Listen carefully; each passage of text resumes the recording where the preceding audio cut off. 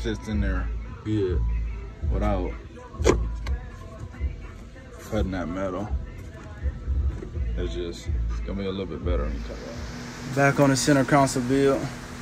See, I got my design down there figured out. I might actually add a speaker up in there too. Make it flush in there. Make this whole thing a little bit wider so that can butt right up. Just one step at a time. Let me know what y'all think. For the G-body, Monte Carlo. Really feeling it.